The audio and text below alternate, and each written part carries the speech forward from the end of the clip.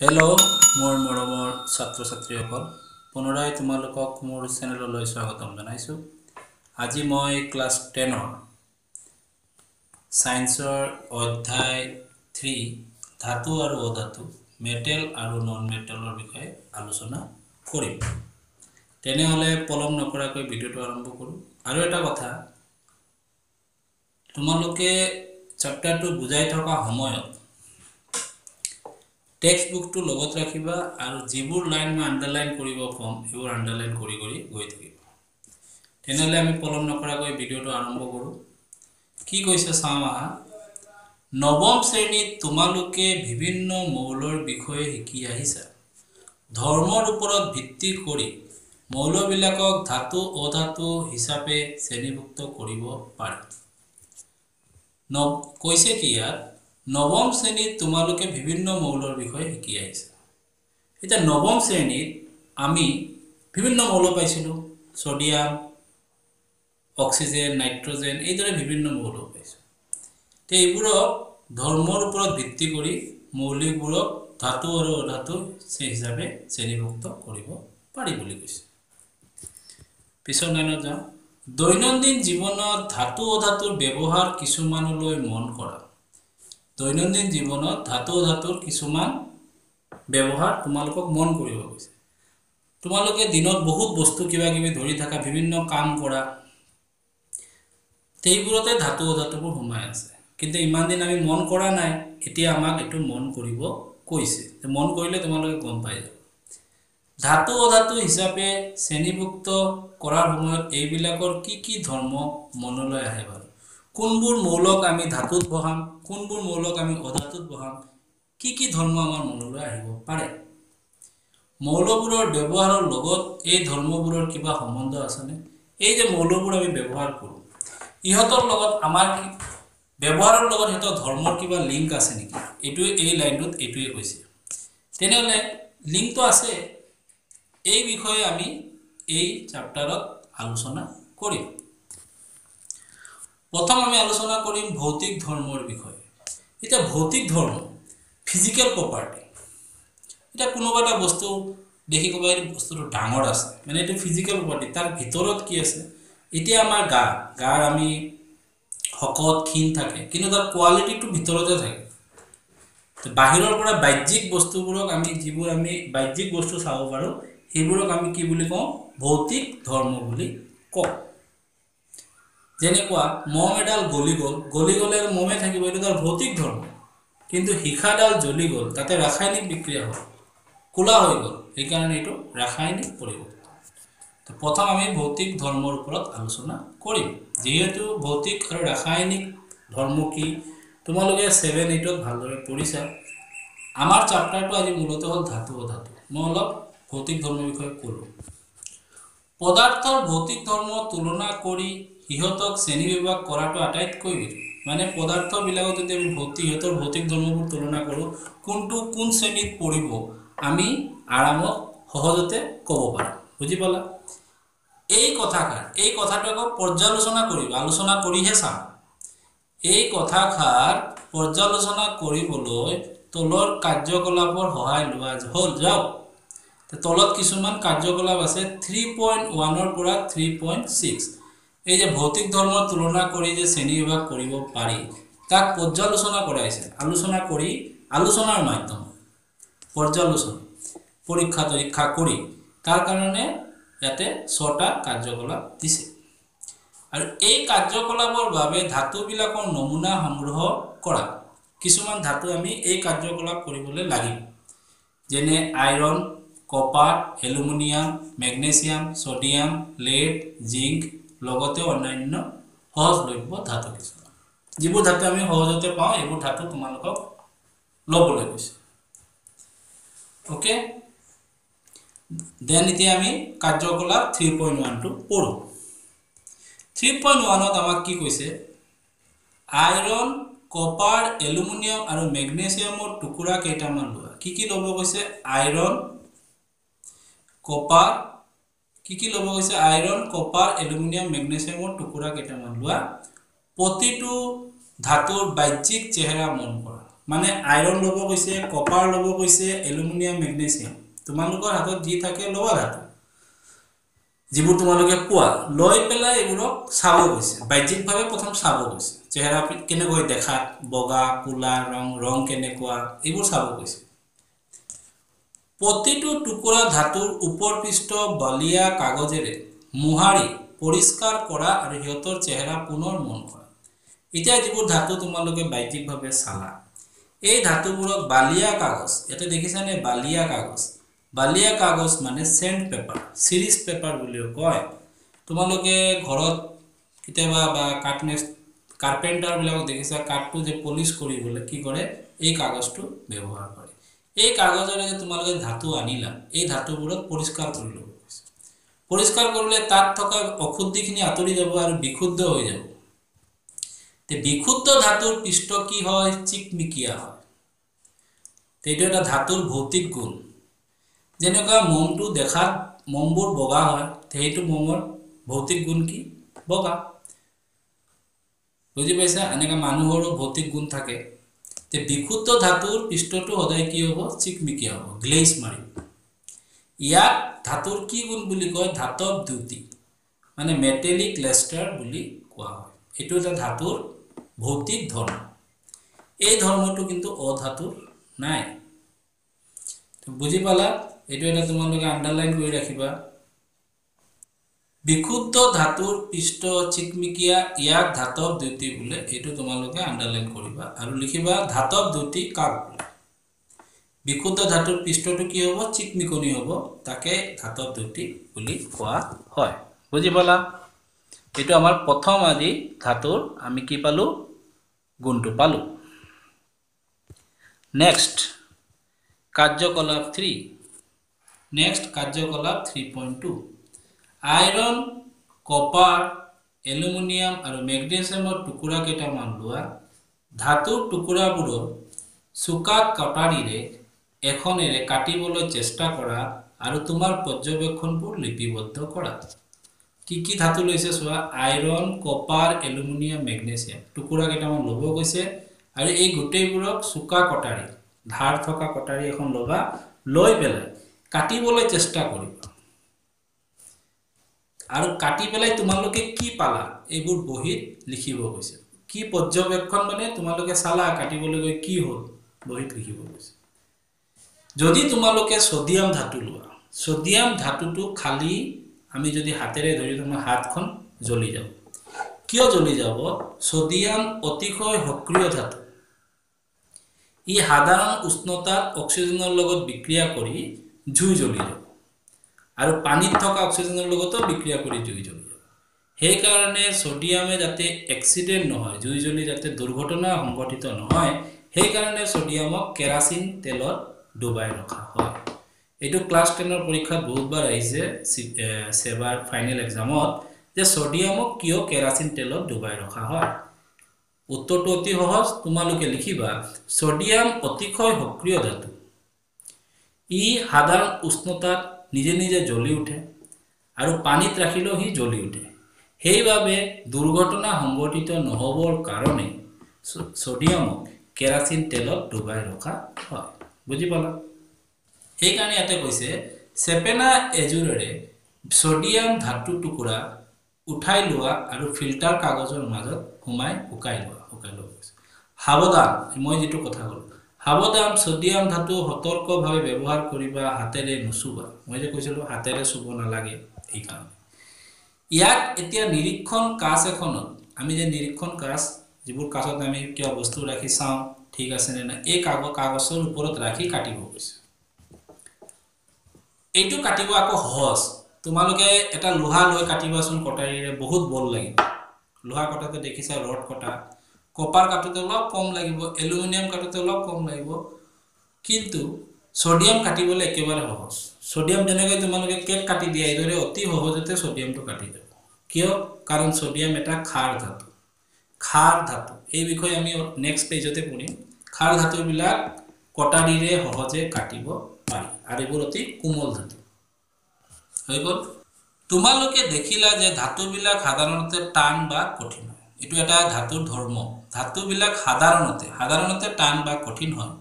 অৱশ্যে প্ৰতিটো ধাতুৰ কাঠিন্য বেলেগ। প্ৰতিটো ধাতু যে কিমান কঠিন হ'ব এইটো বেলেগ বেলেগ হ'ব। কিন্তু ধাতুবোৰ কঠিন হ'ব।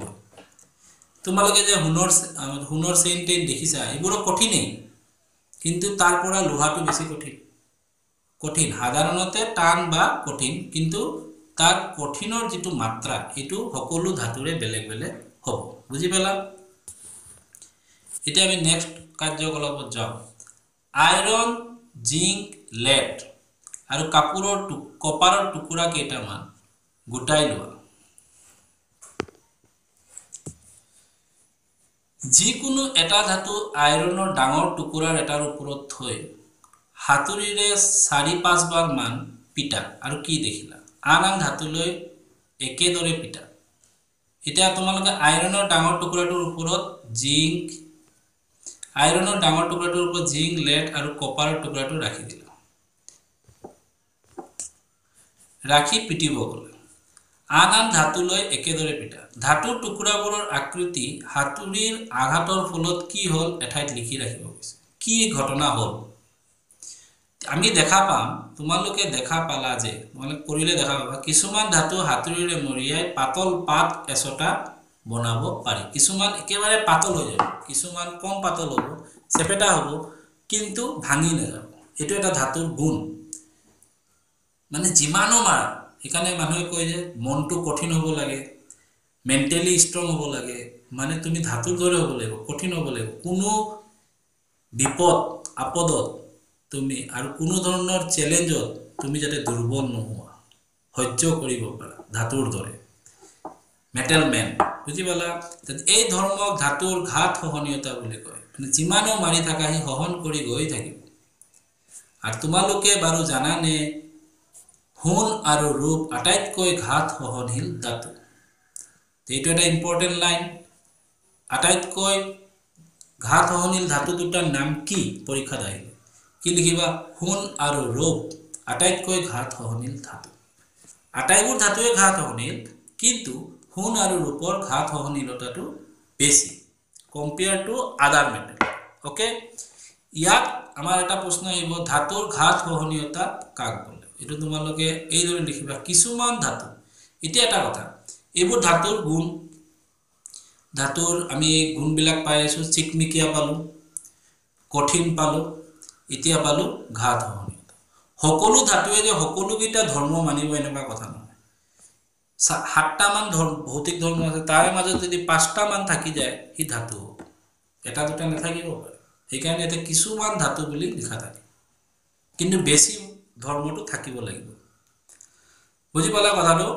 ইয়াতে এইটো তোমালোকে আণ্ডাৰলাইন কৰিবা উৰিয়াই পাতল পাত এচটা বনাব পাৰি এই ধৰ্মক ধাতুৰ ঘাত সহনীয়তা বোলে। এইটো এটা লিখিলা।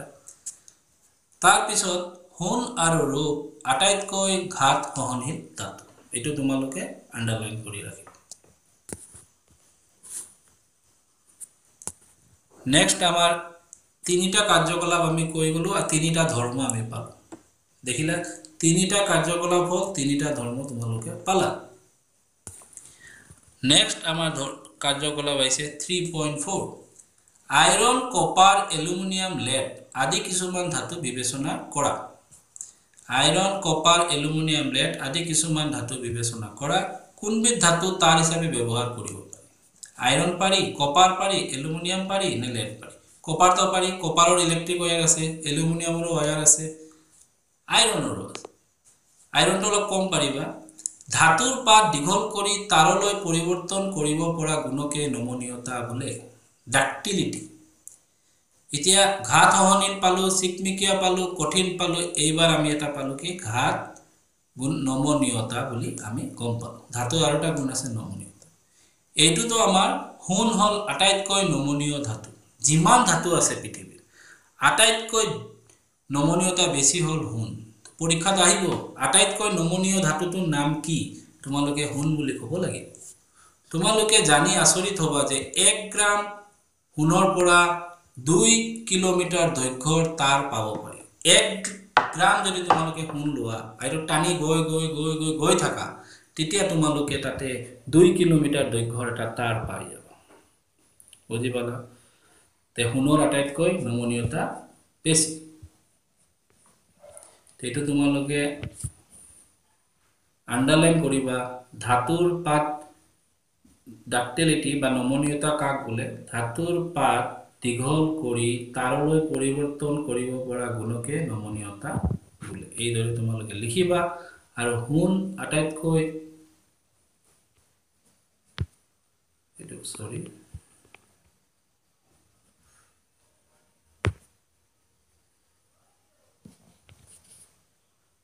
এইটো লিখিবা সোণ আটাইতকৈ নমনীয় ধাতু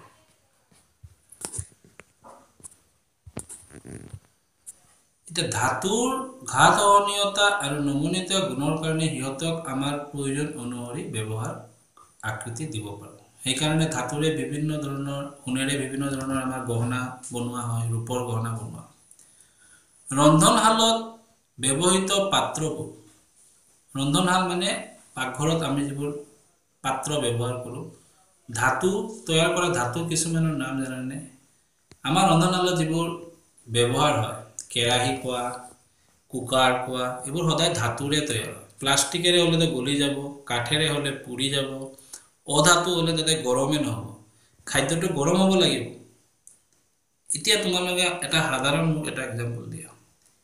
কুকাৰবিলাকত চাবা হেণ্ডেলটোত প্লাষ্টিকৰ কিবা লগোৱা থাকে। চাহ চচপেনত লগোৱা থাকে। আৰু যদি তোমালোকে কেৰাহী চোৱা মায়ে কি কৰে? কাপোৰেৰে কেৰাহীটো যেতিয়া বনোৱা শেষ কাপোৰেৰে ধৰে দুটা দুই চাইড কিয়?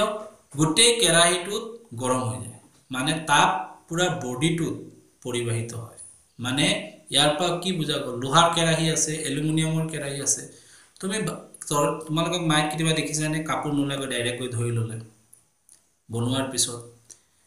কেলে নধৰে? কাৰণ গোটেই কেৰাহীটো গৰম হৈ যায়। ইয়াৰ কাৰণ কি?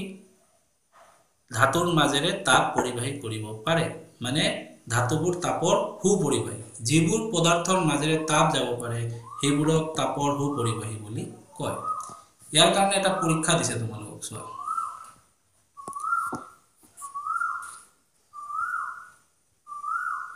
এইটো চোৱা এটা ষ্টেণ্ড এটা ষ্টেণ্ড হৈছে ইয়াতে ধাতুৰ তাৰ এটা লগাই ৰাখিছে। এইটো ধাতুৰ তাৰ। আৰু এইটো গৰম কৰিছে। এইটো বাৰ্ণাৰ এইটো বাৰ্ণাৰেৰে এই তাৰটো গৰম কৰিছে ধাতুৰ তাৰ এটা মানে লোহা লোহা এটা লৈছে। তাৰৰ মুক্ত মূৰ পিন আৰু মম ৰাখিছে। ইয়াতে পিন ৰাখিছে এই মুক্ত মূৰত এটা পিন আৰু মম। ঠিক আছে? এতিয়া কি হয় আমি চাওঁ। এইটো মম এটা লগাই ৰাখিছে ইয়াতে ইয়াৰ মাজেৰে এইটো হিট দি আছে। হিট দি হিট গৈ আছে। হিট গৈ আছে আৰু ইয়াৰ মাজেৰে কি গৈ আছে? এইটো গৰম হৈ আছে। আৰু ইয়াতে মম এটা লগাইছে এলুমিনিয়াম বা কপাৰ তাৰ এটা লোৱা এইটো এলুমিনিয়াম বা কপাৰ তাৰ এটা লৈছে দেখুওৱা ধৰণে তাঁৰডাল সাৱটিৰে বান্ধা এইদৰে বান্ধি দিছে তাঁৰডাল মুক্ত মূৰত সৰু পিন এটা মমৰ সহায়ত লগাই থোৱা ইয়াতে সৰু পিন এটা লগাই থৈছে ইয়াতে সৰু পিন এটা মমৰ সহায়ত লগাই থৈছে স্প্ৰিট লেম্প বা মমবাতি বুনচেন বাৰ্ণাৰ সহায়ত তাঁৰডাল সাৱটিটো বান্ধি ৰখা ওচৰতে গৰম কৰা। ইয়াতে গৰম কৰিব গৈছে অলপ সময় পিছত কি দেখিবা? এই মমটো গলি যাব। মম কেতিয়া গ'লে তোমালোকে কোৱাচোন? মম তেতিয়া গলিব যেতিয়া সি তাপ পাব। মমটো গলি গ'ল এইটো মমেৰে কি কৰি ৰখা হৈছিলে? পিনডাল ৰখা হৈছিলে। মমটো গলি যোৱাৰ কাৰণে পিনডাল পৰি যাব।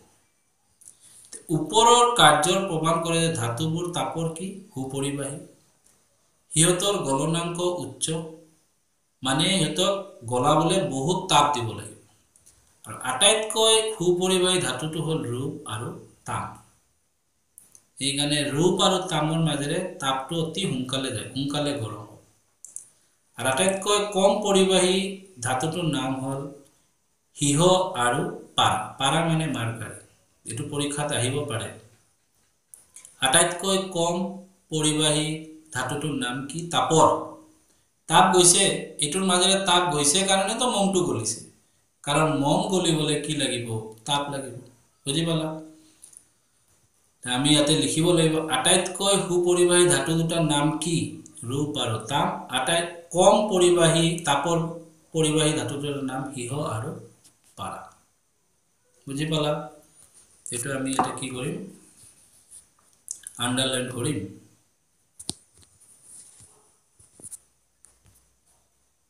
এটা আণ্ডাৰলাইন কৰিম। তাপৰ আটাইতকৈ সুপৰিবাহী ধাতুটো হ'ল ৰূপ আৰু তাপ তাৰপিছত লিখিম সিহ আৰু পাৰা তুলনামূলকভাৱে কম পৰিব বুজি পালা? তাৰপিছত সুধিছে ধাতুবোৰ বিদ্যুতৰো পৰিবাহী? নে প্ৰমাণ কৰি চাওঁ। ধাতুবোৰ এইটোতো তাপৰ পৰিবাহী আমি প্ৰমাণ দেখালোঁ কিতাপৰ সহায়ত এতিয়া ধাতুবোৰ বিদ্যুতৰ পৰিবাহী হয়নে নহয়, এইটোৰো প্ৰমাণ কৰি চাব লাগিব। আমি আৰু এটা ধাতুৰ ভৌতিক ধৰ্ম পালোঁ, ধাতুবোৰ তাপৰ সুপৰিবাহী। বেটাৰী লৈছে, এটা বৰ্তনী বনাইছে, এইটো পৰিবাহী তাৰে। এটা বাল্ব লৈছে ইয়াত। আৰু ইয়াতে দুটা ক্লিপ ৰাখিছে। এইটো এটা ক্লিপ এইটো এটা ক্লিপ বুজি পালা? আৰু এইটো চাবি মানে চুইচ। চাবিটো দিলে তাৰ দুটা লগাই দিলে। ইয়াতে যিকোনো এটা ধাতু ৰাখিব। লোহা ৰাখিব পাৰে কপাৰ ৰাখিব পাৰে এলুমিনিয়াম ৰাখিব পাৰে। যিকোনো এটা ধাতু ৰাখি যদি ইয়াতে যদি আমি প্লাষ্টিকৰ এটা স্কেল ৰাখোঁ এই দুটা ক্লিপৰ মাজত ভাল্বটো নজ্বলিব। আৰু যেতিয়াই আমি ইয়াতে এটা লোহা ৰাখি দিম বা এলুমিনিয়ামৰ টুকুৰা ৰাখি দিম সোণৰ সোণৰ টুকুৰা এটা মিলাই দিম বা ৰূপৰ টুকুৰা এটা ইয়াতে মিলাই দিম এই লাইটটো জ্বলি যাব। লাইট কেতিয়া জ্বলিব? যেতিয়া এই বৰ্তনীৰ মাজেৰে কি যাব লাগিব? কাৰেণ্ট যাব লাগিব। বৰ্তনীৰ মাজেৰে কাৰেণ্টটো গ'লেহে লাইটটো জ্বলিব। মানে ইয়াৰ মাজেৰে কাৰেণ্ট গৈছে। এই দুটাতো এইটো বিচ্ছিন্ন হৈ গ'ল। বৰ্তনী এটা বিচ্ছিন্ন হ'লেতো কাৰেণ্ট নাযায়। কিন্তু আমি ধাতুৰে কি কৰি দিলোঁ? বিচ্ছিন্নতাটো কি কৰি দিলোঁ? নিৰ্মূল কৰি দিলোঁ। এতিয়া এইটো কমপ্লিট হৈ গ'ল চাৰ্কুটটো তেতিয়া বাল্বটো জ্বলে। যদি ধাতু দিওঁ। ধাতুৰ সলনি আমি এতিয়া এটা কি কৰিম? প্লাষ্টিক দি চাম। নজ্বলিব। কিন্তু ইয়াতে এটা অধাতু জ্বলিব। প্লাষ্টিকটো অধাতু। যদি তুমি কাঠ পেঞ্চিলত যিটো পিন থাকে কাঠ পেঞ্চিল আমি যিহেৰে লিখোঁ সেইটো হ'ল গ্ৰেফাইট এই কাঠ পেঞ্চিলটো কাটি তাৰ গ্ৰেফাইটটো আনি যদি ইয়াতে লগাই দিয়া গ্ৰেফাইট আনি যদি ইয়াতে লগাই দিয়া কাঠ পেঞ্চিলৰ লিখা কাঠ পেঞ্চিলৰ কাঠৰ টুকুৰাটো নাই তাৰ ভিতৰত থকা যিটো লগালে কিন্তু বাল্বটো জ্বলিব। মানে এটাই অধাতু আছে গ্ৰেফাইট যাৰ মাজেৰে বিদ্যুৎ পৰিবাহী হয়। আৰু ধাতুৰ মাজেৰেতো বিদ্যুৎ পৰিবাহী হ'বই। বুজি পালা? এই পৰীক্ষাটো এইটোৱেই তোমালোকে নিশ্চয় মন কৰিছা যে তোমালোকৰ ঘৰত ব্যৱহাৰ কৰা বিদ্যুৎ পৰিবাহী তাঁৰবিলাকৰ ওপৰত পলিভা পলিভিনাইল ক্লৰাইড যাক পি ভি চি ৰবৰৰ সদৃশ পদাৰ্থৰ এটা তৰফ দিয়া হয়। তোমালোকে ঘৰত দেখিছা ইলেক্ট্ৰিকৰ তাৰ ওপৰত এটা তৰফ থাকে প্লাষ্টিকৰ এইটোৰ নাম হ'ল পলিভাইন ক্লৰাইড বৈদ্যুতিক তাঁৰবিলাকত এই ধৰণৰ আৱৰণ কিয় দিয়া হয়? কিয় দিয়া হয়? বৈদ্যুত তাঁৰটো বিদ্যুতৰ সুপৰিবাহী কাৰেণ্ট গৈ আছে আৰু ডাইৰেক্ট গৈ আমি সেই তাঁৰডাল চুই দিলোঁ। আমাৰ দেহাটো বিদ্যুতৰ পৰিবাহী। আমি কি ক'ম? কাৰেণ্টে আমাৰ গাত সোমাই যাব। আমাৰ গোটেই গাত কাৰেণ্ট আহি যাব আৰু আমি মৰি থাকিম। ডেটছ ৱাই এই পলিমাইন ক্লৰাইডে কাভাৰ আপ কৰি ৰখা হয় যাতে সেই তাঁৰ তাঁৰৰ মাজেৰে যোৱা পৰিবাহীটো আমাৰ গাত আহিব নোৱাৰে। কাৰণ আমাৰ দেহাটো তাপৰ পৰিবাহী বিদ্যুতৰ পৰিবাহী চৰি ধাতু বিদ্যুতৰ কি হ'ব? পৰিবাহী হ'ব। এইটো এটা আমি পালোঁ ধৰ্ম। এতিয়া আমি নেক্সট আহোঁ। টান বা কঠিন পৃষ্ঠৰ লগত খুন্দা লাগিলে কি হয়? তোমালোকৰ স্কুলত বেল মাৰে। বেলটো কি? প্লাষ্টিকৰ বেল থাকে নে লোহাৰ থাকে? এটা পিৰিয়ড হোৱাৰ পিছত ছুটিৰ বেল মাৰে লেজাৰ হ'লে টিফিন হ'লে বেল দিয়ে। প্লাষ্টিকৰ হ'লে কি হ'ব? গোটেই স্কুলটোতো শব্দটো নাযাব। কিন্তু লোহাৰ দি দিয়ে কিয় কঠিন পৃষ্ঠৰ লগত যিকোনো বস্তুৰে খুন্দা মাৰিলে এটা টাং কৰি এটা শব্দ। হ'ব টাং টাং টাং এনেকুৱা শব্দ হয় নে নহয়? কিন্তু এই কাঠত মই যেতিয়া কাঠৰ টুকুৰাত মাৰিছোঁ ইমান শব্দ হোৱা নাই। এইটোৱে যদি মই এটা ধাতুত মাৰোঁ এইদৰে শব্দটো কি হ'ল? বেছিকৈ হৈছে। এই শব্দৰ যিটো উৎপন্ন কৰিব পাৰে ধাতুৰ এই গুণটোক আমি কি কওঁ? ধাতুৰ নিনাদী গুণ চনৰাজ। পৰীক্ষাত আহিব ধাতুৰ নিনাদী গুণ কাক বোলে? ধাতু কঠিন ধাতুক লগত কিবা এটা খুন্দা খালে টং টং অথবা টিং টিং কিছু শব্দৰ উৎপন্ন হয় এই ধৰ্মটোকে ধাতুৰ নিনাদী গুণ বুলি কোৱা হয়। এতিয়া ক'ব পাৰিবানে কিয় স্কুলৰ ঘণ্টা ধাতুৰে তৈয়াৰী? সেইকাৰণে। মই যিটো ক'লোঁ তেনেহ'লে আমি এবাৰ ৰিকেপ কৰোঁ আমি ধাতুৰ কি কি ধৰ্ম পালোঁ। প্ৰথম আমি ধৰ্ম পাইছিলোঁ ধাতুবোৰ কি? চিকমিকিয়া। প্ৰথম আমি কি ধৰ্ম পাইছিলোঁ? ধাতুবোৰ কি আছিলে? চিকমিকিয়া ধাতৱ দ্যুতি এইটো এক নম্বৰ ধৰ্ম। নেক্সট পাইছিলোঁ ধাতুবোৰ কঠিন টান বা কঠিন। নেক্সট পাইছিলোঁ ধাতুবোৰ ঘাট সহনহীন তাৰপিছত পাইছিলোঁ ধাতুবোৰ নমনীয়তা। তাৰপিছত পাইছিলোঁ ধাতু তাপৰ সুপৰিবাহী। তাৰপিছত পালোঁ ধাতু বিদ্যুতৰো সুপৰিবাহী। আৰু লাষ্টত পালোঁ ধাতুবোৰ নিনাদী গুণ তে ধাতুৰ পাঁচটা ভৌতিক ধৰ্ম লিখা বৈশিষ্ট্য লিখা এইবোৰ তোমালোকে লিখিবা। কি কি লিখিবা? ধাতুবোৰৰ চিকমিকিয়া ধাতুবোৰ সাধাৰণতে কঠিন ধাতুবোৰ ঘাট সহনীয়তা ধাতুবোৰ নমনীয়তা ধাতুবোৰ নিনাদী গুণ আছে আৰু ধাতুবোৰ কি বিদ্যুৎ আৰু তাপৰ সু পৰিৱেশ। হৈ গ'ল। অতি সহজ। এতিয়া আমি অধাতুক আলোচনা কৰিম। তোমালোকে আগৰ শ্ৰেণীতে পাই আহিছা যে ধাতুৰ তুলনাত অধাতুৰ সংখ্যা তাকৰ। পৃথিৱীত ধাতুৰ সংখ্যাটো বেছি অধাতুৰ সংখ্যাটো পৃথিৱীত কম আছে। অধাতুৰ কিছুমান উদাহৰণ carbon sulphur iodine oxygen hydrogen এইবোৰৰ নাম শুনিছাই তোমালোকে। এইবোৰ হ'ল অধাতু। অধাতুবোৰ কঠিন হ'ব বা গেছীয় হ'ব। বুজি পালা? অধাতুবোৰ কঠিন হ'ব নাইবা গেছীয় হ'ব। কিন্তু ধাতুবোৰ কি হৈছিলে? অকল কঠিনেই হ'ব গেছীয় নাই। অধাতুবোৰ কঠিন হ'ব পাৰে গেছীয় হ'ব পাৰে। যেনে অক্সিজেন। অক্সিজেনটো আমাৰ কি? অধাতু কিন্তু গেছীয় হাইড্ৰজেন অধাতু কিন্তু গেছীয় কাৰ্বন গেছো হয় আৰু কঠিনতো পোৱা যায়। এইদৰে। আয়ডিন কঠিন অৱস্থাত পাব। একমাত্ৰ এটা অধাতু আছে ব্ৰমিন যি জুলীয়া। ব্ৰমিনটো হ'ল আমাৰ জুলীয়া অধাতু।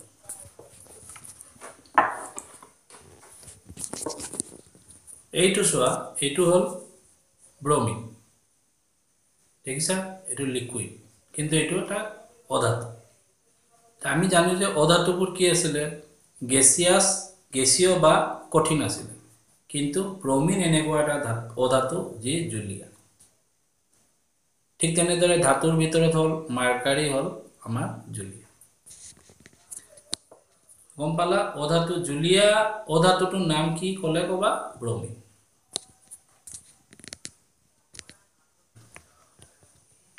এইটো হ'ল মাৰ্কাৰী যাৰ সংকেত হ'ল এইচ জি। এইটো হ'ল জুলীয়া ধাতু। দেখা তেনেকুৱা মাৰ্কাৰী। এইটো হ'ল জুলীয়া ধাতু। এইটো ব্ৰমিনটো হ'ল অধাতু মাৰ্কাৰী হ'ল ধাতু। এতিয়া ধাতু আৰু অধাতুৰ ওপৰত পৰীক্ষাবিলাক পৰ্যবেক্ষণ লিপিবদ্ধ কৰা কাৰ্যকলাপ এতিয়া কাৰ্যকলাপ থ্ৰী পইণ্ট ছেভেন কাৰ্বন কয়লা অথবা গ্ৰেফাইট ছালফাৰ আয়ডিন নমুনা গোটাই লোৱা। কাৰ্বনৰ দুটা ল'ব গৈছে কয়লা ল'ব গৈছে আৰু গ্ৰেফাইট ল'ব গৈছে। কাৰ্বন এটা বহু ৰূপত কাৰ্বন বিভিন্ন ৰূপত থাকে। তাৰপিছত ছালফাৰ ল'ব গৈছে আয়ডিন ল'ব গৈছে লৈ পেলাই ধাতুৰ ওপৰত কৰা কাৰ্যকলাপ থ্ৰী পইণ্ট ওৱানৰ পৰা থ্ৰী পইণ্ট ছিক্সলৈকে অধাতুৰ যিবোৰ আমি থ্ৰী থ্ৰী পইণ্ট ওৱানৰ পৰা থ্ৰী পইণ্ট ছিক্সলৈকে যিবোৰ আমি এক্টিভিটি কৰিছিলোঁ সেই একেবোৰ এক্টিভিটি আমি এতিয়া কয়লা আৰু গ্ৰেফাইটত কৰিম। কয়লাটো হ'ল চিকমিকনি নাই কয়লা এটা অধাতু আৰু গ্ৰেফাইটো এটা অধাতু। বস্তুটো বুজি পাইছা? বুজিব বুজিবলৈ চেষ্টা কৰিবা। এই অধাতুবোৰ লৈ ছালফাৰ এটা অধাতু আয়ডিন এটা অধাতু এই গোটেই অধাতুবোৰ লওঁ। এই অধাতুবোৰ লৈ পেলাই আমি এই আগৰ এক্টিভিটিবোৰ কৰিম। য'ত আমি ধাতু ব্যৱহাৰ কৰিছিলোঁ প্ৰথমতে আমি এইকেইটাক কি কৰিম? বালিয়া কাগজেৰে মোহাৰিম চিকমিকনি আছে নে নাই চাম। তাৰপিছত যদি নাই ইয়াতে আমি লিখিম। কি লিখিম? পৃষ্ঠৰ প্ৰকাৰ চিকমিকিয়া নহয়। বুজিলা? তাৰপিছত আমি এক্টিভিটি কৰিছিলোঁ কোবাইছিলোঁ। হাতুৰিৰে বা টানিছিলোঁ। অঁ কটাৰীৰে কাটিছিলোঁ চৰি কটাৰীৰে কাটিবলৈ চেষ্টা কৰিবা। কঠিন পাবা কিছুমানটো কঠিনত্ব কম পাবা। কঠিনত্বটো ধাতুৰ পৰা কম হ'ব। যিহেতু ধাতুত কি আছে অধাতুত কি আছে আমাৰ চোৱা কঠিন নাইবা গেছীয়। কঠিনো আছে গেছীয় আছে। সেইকাৰণে কঠিনতাটো দুয়োটাতে থাকিব। কিন্তু অধাতুত কম হ'ব তুলনামূলকভাৱে ধাতুতকৈ ঘাত সহনীয়তা। যিদৰে আমি ধাতুবোৰক পিটিছিলোঁ এতিয়া এইবোৰক হাতুৰিৰে পিটিব লাগিব দেখিবা এইবোৰ ভাঙি যাব কয়লা এটা পিটিলে ভাঙি যাব। আয়ডিনৰ টুকুৰা আয়ডিনটো তোমালোকে নিমখ দেখিছাই নিমখৰ গোটা ডাঙৰ যদি গোটা সেইটো যদি তুমি হাতুৰিৰে মাৰা কি হ'ব? ভাঙি যাব। তা ঘাত সহনীয়তা নাই। অধাতুৰ ঘাত সহনীয়তা নাই আৰু ধাতুৰ ঘাত সহনীয়তা আছে। নমনীয়তা। কয়লাটো টানি তুমি তাঁৰ বনাব নোৱাৰিবা। যিদৰে আমি এলুমিনিয়ামৰ তাঁৰ যেনেকৈ সোণৰ কি আছিলে এক গ্ৰাম সোণৰ যদি আমি টানি দিওঁ দুই কিলোমিটাৰলৈকে তাঁৰ টানিব পাৰিম। তাৰপাছত আহিব পৰিবাহিতা। ধাতুবোৰৰ এইবোৰ যেতিয়া আমি গৰম কৰিম এই এক্টিভিটিটো ধাতুবোৰ এই এক্টিভিটিটো ইয়াতে যদি আমি ছালফাৰ বা কয়লাৰ এটা টুকুৰা লগাই গৰম কৰোঁ এই মমডাল গলি নাযাব। মানে ইয়াৰ মাজেৰে তাপ যোৱা নাই। বুজি পালা বস্তুটো? ইয়াৰ মাজেৰে তাপ যোৱা নাই। মানে তাপৰ কি? কুপৰিবাহী। তাপৰ কুপৰিবাহী অধাতু। আৰু ধাতুবোৰ সুপৰিবাহী। বিদ্যুতৰো কুপৰিবাহী আৰু তাপৰ বিদ্যুৎ ধাতুবোৰ বিদ্যুতৰ সুপৰিবাহী অধাতুবোৰ কুপৰিবাহী। ইয়াতে আমি মই যে কৈয়ে দিছিলোঁ ইয়াতে ইয়াতে আমি ধাতু নলগাই অধাতুবোৰ লগাওঁ কয়লাৰ টুকুৰা এটা কিন্তু গ্ৰেফাইট এনে এটা ধাতু অধাতু যাৰ মাজেৰে বিদ্যুৎ পৰিবাহী হ'ব। গ্ৰেফাইটটো যদি ব্যৱহাৰ কৰা অধাতু হ'লেও ইয়াৰ মাজেৰে কিন্তু লাইটটো জ্বলিব। বুজি পালা? এইটো এটা ইম্পৰ্টেণ্ট পইণ্ট গ্ৰেফাইট কিন্তু সুপৰিবাহী। পৰীক্ষাত এইটো খুব আহে। বিদ্যুতৰ পৰিবাহী অধাতুটোৰ নাম কি? এইটো তোমালোকে লিখিবা তাৰপিছত নিনাদী ধৰ্ম। নিনাদী ধৰ্ম শব্দটো বহু দূৰলৈকে যায় কাৰ? ধাতুৰ যায়। সেইকাৰণে আমাৰ লোহাৰ বেল ব্যৱহাৰ কৰা হয় স্কুলত। প্লাষ্টিকৰ সলনি অথবা কাঠৰ সলনি। বুজি পালা? এইখিনিয়ে তোমাক এইবোৰৰ পৰাই তোমালোকে পাৰ্থক্যবোৰ লিখিব পাৰিবা। বস্তুটো এইদৰে আহিব ধাতু আৰু অধাতুৰ ভৌতিক ধৰ্মৰ ভিত্তিত পাৰ্থক্য লিখা। এতিয়া চাবা তোমালোকে মন দি প্ৰশ্নটো আগতে পঢ়ি যাব লাগিব। কি কয়? যদি প্ৰশ্নত কয় ধাতু আৰু ধাতুৰ মাজত পাৰ্থক্য লিখা। এইকেইটা লিখিলে হ'ব কিন্তু কেতিয়াবা প্ৰশ্নত কয় ধাতু আৰু অধাতুৰ ৰাসায়নিক ধৰ্মৰ ভিত্তিত পাৰ্থক্য লিখা। তেতিয়া এই পাৰ্থক্যবোৰ লিখিলে তোমালোকে জিৰ' পাবা। কাৰণ এইবোৰ গোটেইবোৰ ভৌতিক ধৰ্ম। যিবোৰ আমি বাহ্যিকভাৱে চুই পেলাই চাই পেলাই অনুভৱ কৰোঁ। ৰাসায়নিক ধৰ্ম হ'লে তাতে বিক্ৰিয়া হ'ব লাগিব। বস্তুটো বুজি পাইছা? প্ৰশ্নটো কৈছে ধাতু আৰু অধাতুৰ ৰাসায়নিক ধৰ্মৰ ভিত্তিত পাৰ্থক্য লিখা। তেতিয়া এই পাৰ্থক্যবোৰ লিখিলে তোমালোকে মাৰ্ক নাপাবা। আৰু যদি কয় ধাতু আৰু অধাতুৰ ভৌতিক ধৰ্মৰ ভিত্তিত পাৰ্থক্য লিখা তেনেহ'লে তোমালোকে এই পাৰ্থক্যটো লিখিব পাৰিব। দুটা বা তিনিটা পাৰ্থক্য লিখিবা টু মাৰ্ক থাকিলে দুটা লিখিবা। ইয়াৰ পৰাতো আহিয়ে গ'ল পৃষ্ঠ প্ৰকাৰ চিকমিকীয়া চিকমিকীয়া নহয় কঠিনতা ধাত অধাত ধাতুৰ বেছি আৰু অধাতুৰ কঠিনতাটো কম। ঘাত সহনীয়তা ধাতুৰ আছে অধাতুৰ নাই নমনীয়তা নমনীয়তা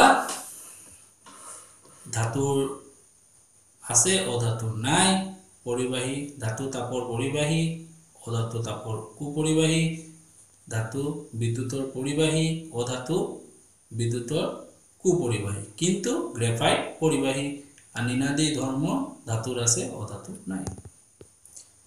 ওপৰৰ তালিকা থ্ৰী পইণ্ট ওৱানত সন্নিৱিষ্ট কৰা পৰ্যবেক্ষণৰ ওপৰত ভিত্তি কৰি ধাতু আৰু অধাতুৰ সাধাৰণ ভৌতিক ধৰ্মবোৰ শ্ৰেণীত আলোচনা কৰা। এইবোৰ আলোচনা কৰিব কৈছে কৰিলৈ আমি।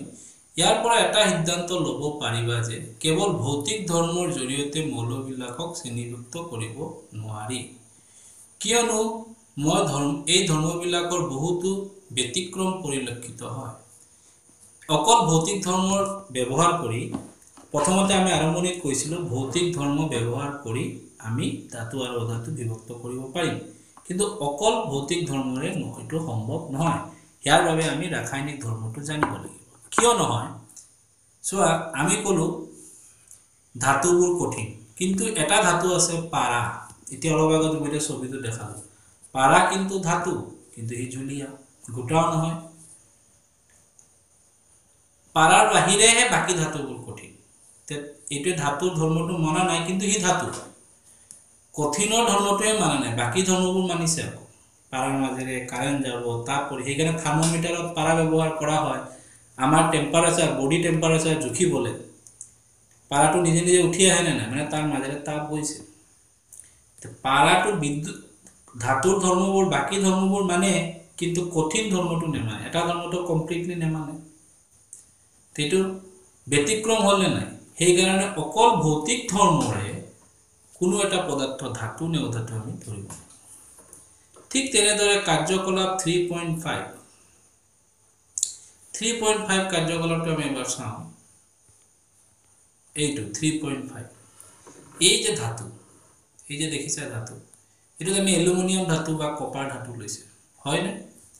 ইয়াৰ সলনি আমি যদি এই ধাতু লওঁ ইয়াৰ সলনি আমি যদি এই ধাতু লওঁ গেলিয়াম আৰু চিজিয়াম ধাতু। তেতিয়া এই গেলিয়াম আৰু চিজিয়ামটো গলি যাব। গৰমটো সহ্য কৰিব নোৱাৰিব। সি গলি যাব। এইটো আমাৰ থ্ৰী পইণ্ট ফাইভৰ যিটো। সি নিজে ইয়াতে গলি যাব গৰম পায় কাৰণ সিহঁতৰ গলনাংকটো কম। অলপ তাপতে সিহঁতে গলি যায়। গৰম কৰিবই নালাগে অলপতে সিহঁতে গলি যাব এই গণনাংক নিজে কম। পৰীক্ষাত আহিব। আটাইতকৈ কম গলনাংক ধাতু দুটাৰ নাম গেলিয়াম আৰু চিজিয়াম। এইটো লিখি ৰাখিবা। এইটো আণ্ডাৰলাইন কৰি ৰাখিব লাগে। কি বুলি লিখিবা? গেলিয়াম আৰু চিজিয়াম ধাতু গণনাংক নিচেই কম। হৈ গ'ল এইটো।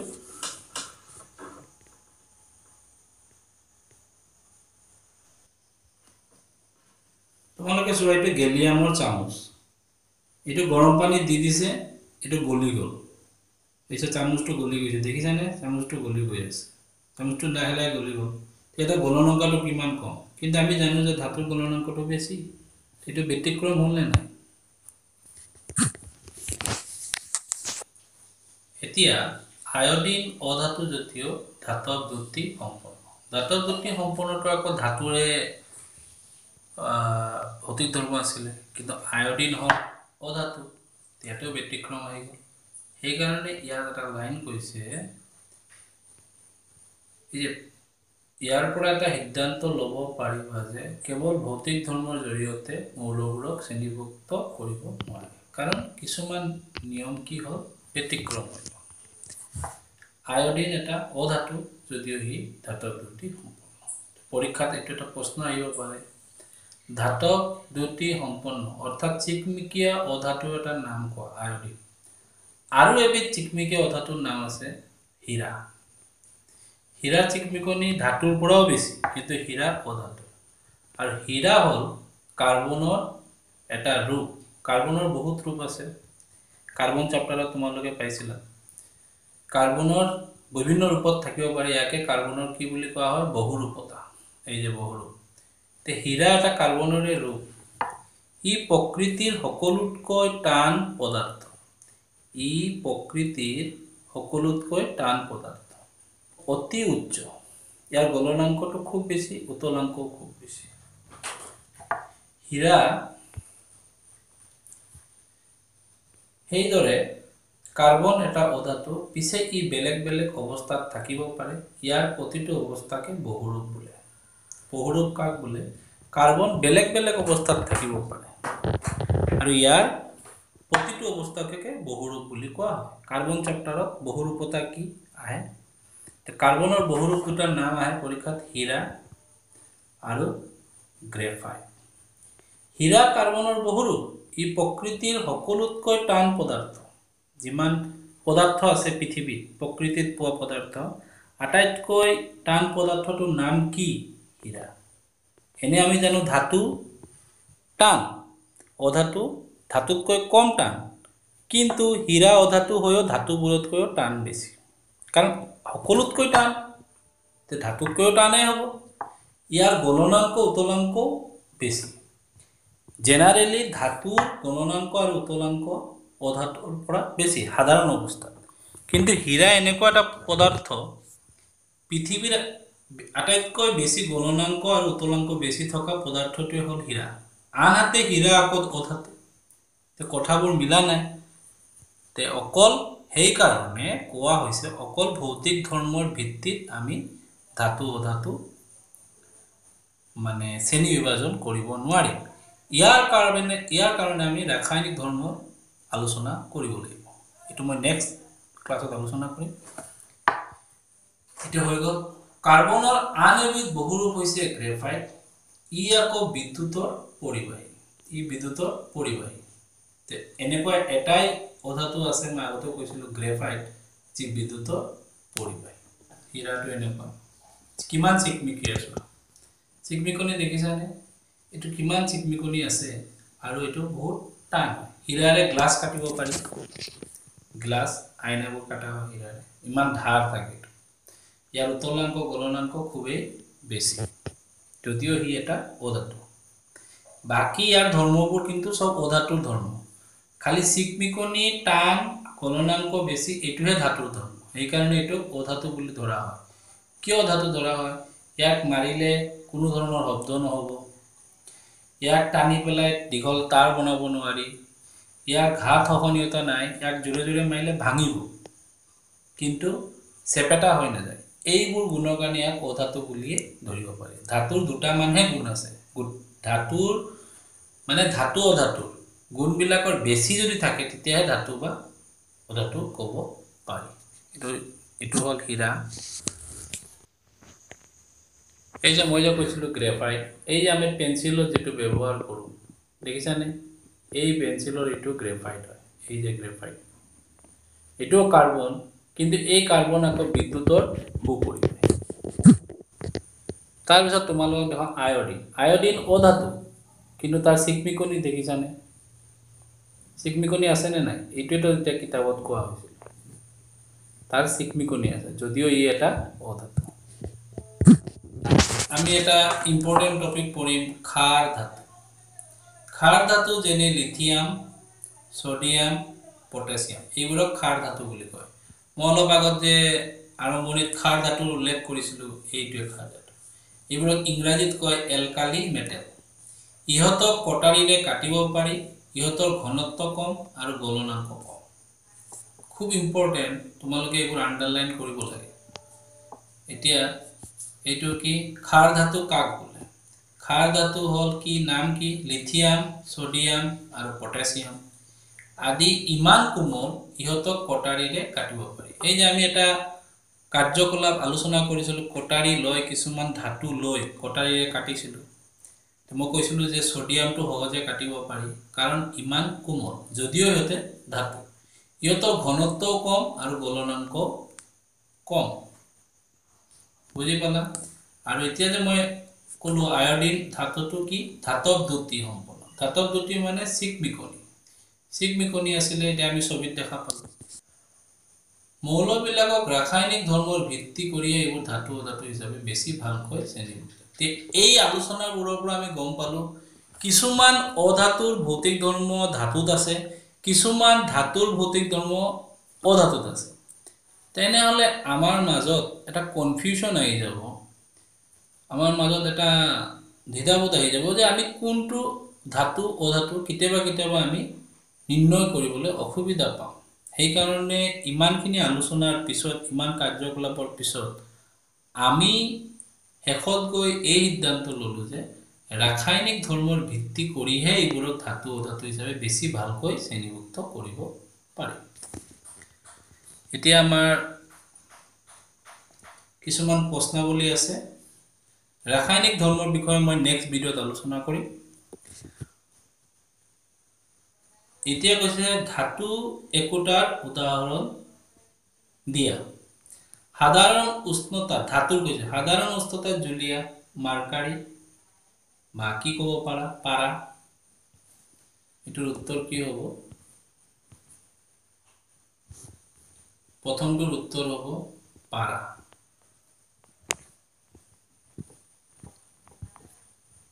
পাৰা। বুজি পালা এইটো? কটাৰীৰে সহজে কাটিব পাৰি ধাতু? কটাৰীৰে সহজে কাটিব পৰা ধাতু আমি এতিয়া অলপ আগত পাইছিলোঁ। এই তিনিটা হ'ব। লিথিয়াম লিথিয়াম ছডিয়াম আৰু পটাছিয়াম।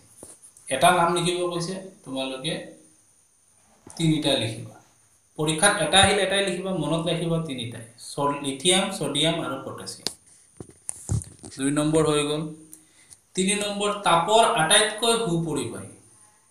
তাপৰ আটাইতকৈ সুপৰিবাহী ধাতুটো কোনটো আছিলে? ৰূপ। এইটো আছিলে আমি পাইছিলোঁ। ৰূপ আছিলে এই যে চোৱা ৰূপ আৰু তাম তাপৰ আটাইতকৈ সুপৰিবাহী। তাপৰ আটাইতকৈ সুপৰিবাহী কোন আছিলে? ৰূপ আৰু তাম এইটোৰ উত্তৰ তোমালোকে পাই গলা। নেক্সট তাপৰ কম পৰিবাহী। কম পৰিবাহী আমাৰ পাৰা আছিলে আৰু সিহ আছিলে। এইটো ইয়াতে আছে। চোৱা। তাপৰ কম পৰিবাহী আছিলে সিহ আৰু পাৰা। কম পৰিবাহী। এই আটাইকেইটা উত্তৰ আমি ইয়াতে ক'লোঁ। ধাতুৰ ঘাত সহনীয়তা আৰু নমনীয়তাৰ অৰ্থ বহলাই আলোচনা কৰা। এইটো মই প্ৰশ্ন দি আছো এতিয়া। ধাতুৰ ঘাত সহনীয়তা ধাতুৰ ঘাত সহনীয়তা আৰু নমনীয়তাৰ অৰ্থ বহলাই আলোচনা কৰা। মই উত্তৰবোৰ এতিয়া দি আছো। আৰু লগত আজিৰ আলোচনাৰ পৰা কিছুমান এডিশ্যনেল প্ৰশ্নৰ উত্তৰ মই এতিয়া তোমালোকক দি আছো। আজিৰ প্ৰথম প্ৰশ্নটো হ'ল ধাতুৰ ঘাত সহনীয়তা কাক? আজিৰ প্ৰথম প্ৰশ্নটো হ'ল ধাতুৰ ঘাত সহনীয়তা কাক বোলে? কিছুমান ধাতুৰ হাতুৰিৰে মৰিয়াই পাতল পাত এচটা বনাব পাৰি। এই ধৰ্মক ধাতুৰ ঘাত সহনীয়তা বোলে। নেক্সট প্ৰশ্ন আটাইতকৈ বেছি ঘাত সহনীল ধাতু দুটাৰ নাম কি? সোণ আৰু ৰূপ। ধাতুৰ নমনীয়তা কাক বোলে? ধাতুৰ পাত দীঘল কৰি তাৰলৈ পৰিৱৰ্তন কৰিব পৰা গুণকে ধাতুৰ নমনীয়তা বোলে। আটাইতকৈ বেছি নমনীয়তা ধাতুটোৰ নাম কি? সোণ। আটাইতকৈ বেছি তাপ সুপৰিবাহী ধাতু দুটাৰ নাম কি? ৰূপ আৰু তাম। এইটো তোমালোকে প্ৰশ্নাৱলীটো পাইছা। ধাতুৰ নিনাদী গুণ কাক বোলে? টান বা কঠিন পৃষ্ঠৰ লগত ধাতুৰ খুন্দা লাগিলে শব্দ উৎপন্ন হয়। এনেদৰে শব্দ উৎপন্ন কৰা ধাতুৰ নিনাদী গুণ বোলে। জুলীয়া ধাতু আৰু অধাতুৰ নাম লিখা। জুলীয়া ধাতু আমি দেখা পাইছিলোঁ ছবিটো দেখা পাইছিলোঁ। জুলীয়া ধাতু পাৰা মাৰ্কাৰী। জুলীয়া অধাতু ব্ৰমিন ধাতৱ দ্ৰুতি বিশুদ্ধ ধাতুৰ পৃষ্ঠ চিকমিকিয়া ইয়াক ধাতৱ দ্ৰুতি বোলে। নেক্সট প্ৰশ্ন নাইন নম্বৰ। কম গলনাংক বিশিষ্ট ধাতু দুটাৰ নাম গেলিয়াম আৰু চিজিয়াম। আমি দেখিছিলোঁ গেলিয়ামৰ চামুচটো কি হৈছিলে গলি গৈছিলে। এতিয়া চিজিয়াম চিজিয়াম চাবা ৱালবিলাকত ডেকৰেশ্যনত ৱালত লগায় এই চিজিয়াম বস্তুটো। আৰু গেলিয়াম ক'ত ব্যৱহাৰ হয় জানা? পেপচি কক বটলবিলাকত। কক বটলবোৰ দেখিছা ন? পেপচি থামছ আপ এলুমিনিয়ামটো অলপ টান তাতে গেলিয়াম মিলোৱা হয় যাতে গৰমত সি গলি যাব পাৰে। তেতিয়া আমি পটককৈ ঢাকনিটো আমি খুলিব পাৰোঁ। ধাতৱ দুটি সম্পন্ন অধাতুটোৰ নাম আয়ডিন। আমি দেখিছিলোঁ ছবিত আয়ডিনৰ চিকমিকনি আছে মানে ধাতৱ দুটি কাৰ্বনৰ দুটা বহুৰূপৰ নাম হীৰা আৰু গ্ৰেফাইট। খাৰ ধাতুৰ দুটা বৈশিষ্ট্য লিখা খাৰ ধাতুৰ দুটা বৈশিষ্ট্য হ'ল কোমল আৰু সিহঁতক কটাৰীৰে কাটিব পাৰি ইহঁতৰ ঘনত্ব কম আৰু গলনাংক কম। পৰীক্ষাত আহিব পাৰে খাৰ ধাতু কাক বোলে? তোমালোকে কি লিখিবা? যিবোৰ ধাতু অতিকৈ কোমল আৰু কটাৰীৰে কাটিব পাৰি আৰু সিহঁতৰ ঘনত্ব আৰু গণনাংক কম তেনেবোৰ ধাতুকে খাৰ ধাতু বুলি কোৱা হয়। বিদ্যুৎ পৰিবাহী অধাতুটোৰ নাম কি? গ্ৰেফাইট। বিদ্যুতৰ পৰিবাহী গ্ৰেফাইট। গ্ৰেফাইট এনেকুৱা এটা অধাতু যাৰ মাজেৰে বিদ্যুৎ কাৰেণ্ট যাব পাৰে। এতিয়া চব প্ৰশ্নটোত এনেকুৱা থাকিব। মই যে কৈছিলোঁ ভৌতিক ধৰ্মৰ ওপৰত ভিত্তি কৰি ধাতু অধাতুৰ মাজত পাৰ্থক্য। তেতিয়া আমি অকল ভৌতিক ধৰ্মখিনিহে লিখিম। প্ৰশ্নত তোমালোকে চাব লাগিব ভৌতিক ধৰ্ম দিছে নে ৰাসায়নিক ধৰ্ম দিছে? যদি ৰাসায়নিক ধৰ্ম দিছে তোমালোকে এইবোৰ লিখিলে ভুল হ'ব। আৰু যদি দিছে যে ধৰ্ম ধাতু আৰু অধাতুৰ মাজত পাৰ্থক্য লিখা। তেতিয়া তোমালোকে ভৌতিক ধৰ্ম লিখিব পাৰিবা আৰু ৰাসায়নিক ধৰ্ম যিকোনো এটা পাৰ্থক্য লিখিলে হ'ব। ধাতু অধাতু। ধাতুৰ পৃষ্ঠ চিকমিকীয়া অধাতুৰ পৃষ্ঠ চিকমিকীয়া নহয় কিন্তু হীৰা আৰু আয়ডিন চিকমিকীয়া। অলপ আগত আমি পালোঁ। ধাতু বিদ্যুৎ আৰু তাপৰ সুপৰিবাহী অধাতু বিদ্যুৎ আৰু তাপৰ কুপৰিবাহী কিন্তু বিদ্যুৎ গ্ৰেফাইট বিদ্যুতৰ সুপৰিবাহী। ধাতুৰ ঘাত সহনীয়তা গুণ আছে অধাতুৰ ঘাত সহনীয়তা গুণ নাই। ধাতুৰ নমনীয়তা গুণ আছে অধাতুৰ নমনীয়তা গুণ নাই। ধাতুৰ নিনাদী গুণ আছে অধাতুৰ নিনাদী গুণ নাই। আমাৰ চৈধ্যটা প্ৰশ্ন হৈ গ'ল নাম্বাৰ ফিফটিন প্ৰকৃতিৰ সকলোতকৈ টান পদাৰ্থটোৰ নাম কি? কি হ'ব? এইকেইটা আমাৰ আছিলে প্ৰশ্ন আৰু প্ৰশ্নাৱলীৰ ঘা সহনীয়তা বিষয়ে লিখা এইটো মই ইয়াতে লিখিয়ে দিছোঁ। নিনাদী গুণ আৰু ঘা সহনীয়তা আৰু নমনীয়তা কাক বোলে ইয়াতে লিখা আছে। এইটোৰ উত্তৰো হৈ গ'ল প্ৰশ্নাৱলীও হৈ গ'ল। তেনেহ'লে আজিৰ ভিডিঅ'টো মই ইমানতে শেষ কৰিছোঁ। ইয়াৰ নেক্সট ভিডিঅ'ত মই চেপ্টাৰ এইটৰ পাৰ্ট টু ভিডিঅ' দিম তাৰপিছত আকৌ মই ধাতুৰ ভিডিঅ'টো দিম। যদি তোমালোকৰ ভিডিঅ'টো ভাল লাগিছে লাইক কৰিবা শ্বেয়াৰ কৰিবা। কিবা সুধিব লগা হ'লে কমেণ্ট বক্সত কমেণ্ট কৰিবা। আৰু যদি মোৰ চেনেলটো ছাবস্ক্ৰাইব কৰা নাই ছাবস্ক্ৰাইব কৰিবা কিন্তু ভালদৰে পঢ়া শুনা কৰিবা ঘৰৰ পৰা বেছি নোলাবা কাৰণ এতিয়া আমাৰ দেশত বিশেষকৈ আমাৰ অসমত কৰোণাই ভয়াৱহ ৰূপ লৈছে। গৰম পানী খাবা আৰু শৰীৰৰ যত্ন ল'বা ভালদৰে পঢ়া শুনা কৰিবা। এই কৈ মই তোমালোকৰ পৰা বিদায় লৈছোঁ। থেংক ইউ ধন্যবাদ।